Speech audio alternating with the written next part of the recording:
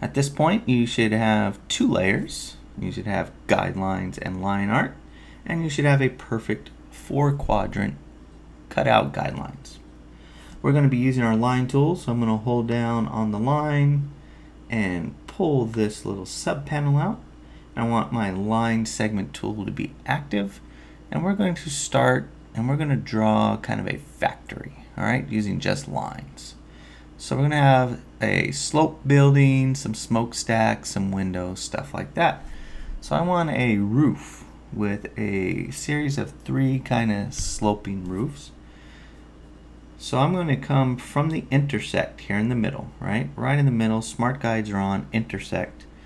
And I'm going to hold shift so I can do this at a perfect 40 degree angle.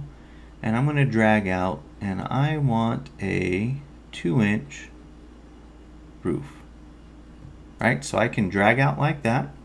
I also want to make sure that I have no fill, but my stroke, my stroke is black. All right, and I want to be able to see that line better, so I'm going to make my stroke a little bit thicker, like five points. And then with the selection tool, I can click off and I have that two inch line at a 45 degree angle. Remember, you can also, I'm just going to delete it for a minute to show you the other way.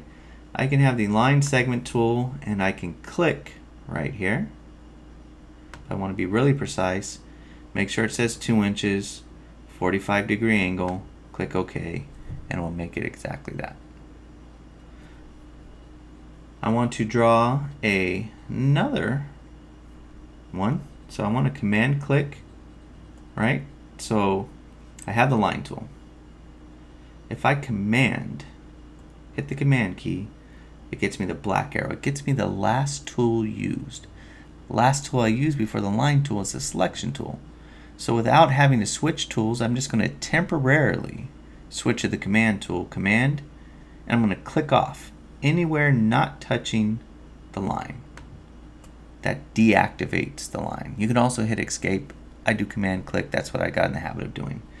I want to draw a new line going from here to here. All right, so right at that anchor, and then I'm gonna hold shift and I'm gonna drag down until I hit that guide. All right, so I want to be right on that guideline like that. I'm gonna let go. It's gonna give us a little stack, kind of a sloped kind of roof. I'm going to hit command to get that black arrow and I'm going to click and drag over these two lines, just a part of them, just so they're both highlighted. And you notice that that has selected both of those lines, okay? I want to hit the V key to get the black arrow or the selection tool. And I want to make two copies of this. So I'm going to click with the black arrow active, both of them selected. We can see the bounding box and I'm going to click I'm going to start dragging. While I'm dragging I'm going to pause for a second hold the shift key. This is going to make sure that it doesn't move up or down. And I want to move it right to where I see intersect. But I'm not letting go of anything yet because that would move it. We're making a copy. So with another finger we hold option. And look at the cursor really quick. It changes from black to a black and white I'm going to let go of the mouse before the keyboard and that drags over and creates a copy of those two lines. I want to do one more. I could do that again or as I'm starting to learn Illustrator there's another way. There's duplicate. What duplicate does is it does the exact same move you just did which is copy these things, move them over perfectly. Duplicate starts with a D, so our shortcut for that would be Command Duplicate. And that now gives us kind of three stacked, kind of like, uh, you'll see when it comes together, like part of a roof, okay? From here, we want to continue the sides of this building down. So what I'm going to do is I'm going to take my line tool And right at this intersect right there, I'm going to, oops, I messed up on that. It's still selected, so command click to click off. So no paths are selected. Now we take our line tool and right over that anchor, we're going to hold shift, drag down, and let's go for, let's see, 3.75 inches. Okay, 3.75 inches. I'm going to take my white arrow, which is the A tool for direct select, and I'm going to click on the bottom of this line, this anchor point right here. While I'm holding shift, I'm going to drag down. All right, so I'm going to drag down. I'm going to hold shift after I start dragging. And since I have smart guides turned on, I'm going to drag until I see a little square like that, right? It lines me up exactly. See that little purple line to the left? It, it has aligned itself exactly to the other anchor point. I'm going to let go. So now we kind of have a side of a building, or it kind of could look like uh, maybe like Bart's hair or something like that, if you know The Simpsons. Anyhow, we now have the start of a building. I want to create two smokestacks over here. So take my line tool again, and right next to this, let's see, somewhere up here, maybe something like that. You don't have to be exact, but I'm going to start right at the bottom here. And you can see with smart objects on, it kind of gets me lined up as soon as I hit the right spot, right? The right level. It's a little tricky. Boom. And then I'm going to click and drag, hold shift, get a smokestack. Let's say we make this six and a half. Or somewhere thereabouts. You don't have to be exact. Just get it close. Command click off. Drag over. We'll make our smokestack one inch wide. Command click off. New line, hold the shift key. Come all the way down using our smart guides. Let go. Take our selection tool, which is V, marquee select all three paths, right? One, two, and three. And then we're going to option drag that over while holding the shift key so we can make a copy. I'm going to go, I don't know, 1.15, get it close. Close enough is fine. Let go of the mouse before the keyboard. And now you have two smokestacks and this building. I think it's too far apart.